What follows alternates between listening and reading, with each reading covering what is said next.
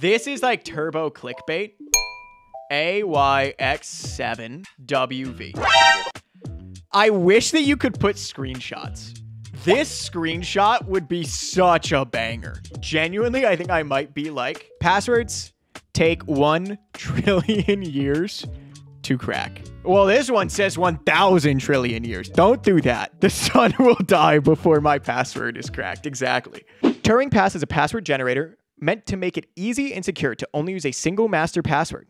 I would like to know how to best put this project on my resume, as well as any changes I can make to the project to make it more appealing to employers. So, this is like a very specific type of thing that I do that I haven't necessarily marketed well. Now I take this, the job description, and this is sort of like resume coaching in the sense of we're going to try and tailor this project that we're staring at here to this job description. Simply open our easy to use Chrome extension and enter your master password along with the name of the site you wish to access. The next time you wish to access that site, simply enter your master password and the site name you used before. And Turing Pass will generate the exact same password for you every time. If we're just talking about from a project perspective, you would want to add something that facilitates changing your password. Now, we don't care about that. We just want to get you hired. Okay. And a recruiter probably doesn't notice that. And many developers don't even notice that. I'm just giving you that advice because we also are like a code review thing here. So, in general, you want to be able to change your password. All right. So, let's look at how this is listed on the resume.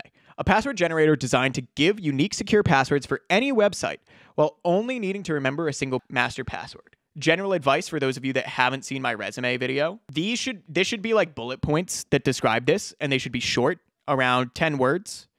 And these technologies are good to have in here, but listing them as bullets draws the eye there more than to the project itself. And I think we want to try and sell the project itself more. This doesn't show differentiation. I read this and I think to myself, password manager. Why didn't you just say password manager? We need to find a way to work in here the fact that you aren't storing anything and that you believe this makes it bulletproof. Securely generates unique passwords per website. Does not store any information to prevent password stealing or something like this. Never store passwords to prevent attacks. Maybe. We're workshopping. We're workshopping. Something like this. We got to cook somehow. I would maybe just list your like things up here HTML, CSS, JavaScript. Then we've got like our title of like, you know, project Turing. And I wouldn't call it this. So this is the next bit. No one knows what this means except for you, right? So I wouldn't call it by its name. Named projects are great if you're like a startup and doing marketing. You want to call this like password management solution or something like that, right? Where or like novel honestly, I still might just call it a password manager. And because it really is just a password manager that never has to store passwords. Password manager is something that the recruiter will have like at least an implicit understanding of, they'll draw a connection to, and that's a positive. Passwords take 1 trillion years to crack. Now we got to look and see what we're missing for like qualifications. Like what can we do to try to convey that we have things that they want on here? Yeah. Oh, just get published, bro. Easy. Yeah, it's just so general. But okay, develop a strong engine understanding of relevant product area, code base, and systems, proficiency in data analysis. We could try something with that. Programming and software engineering, high quality code with good test coverage. I don't know that that's easy to work in. Could you do some performance testing and be like required APIs scale to, you know, 1,000 requests per second performed, scalability uh, performance testing to verify APIs scale to 1,000 requests per second.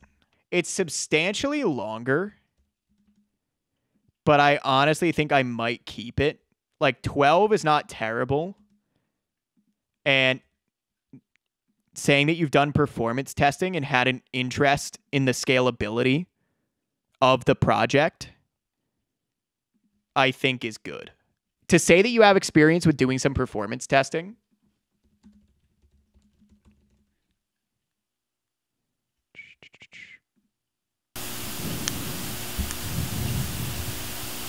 maybe this would work for you. But if you can do some legitimate performance testing to verify that this thing scales up to, I said a thousand arbitrarily. Like if it doesn't scale to a thousand, you can always pick a, whatever the lower number is that it scales up to, and get that number in here. Because we're trying to just get numbers. One trillion years to crack and a thousand requests per second would be good numbers to have in here. And then I think this is like generally about as good as you're to get. I personally feel like this cooks.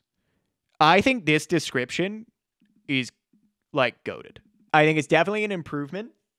And let me know what the outcome of your performance testing is after you do it, because I'm genuinely curious if you just get a thousand requests per second for free with the built in Go server, because Go is like kind of cracked.